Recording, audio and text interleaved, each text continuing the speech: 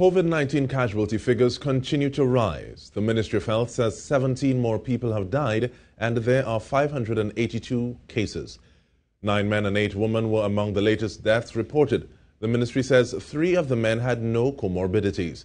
The COVID 19 death toll now stands at 425, having crossed the 400 mark on Tuesday.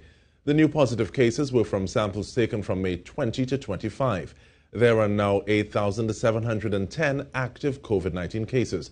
447 of those cases require hospitalization.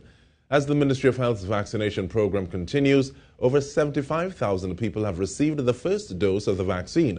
1,179 have received the second dose.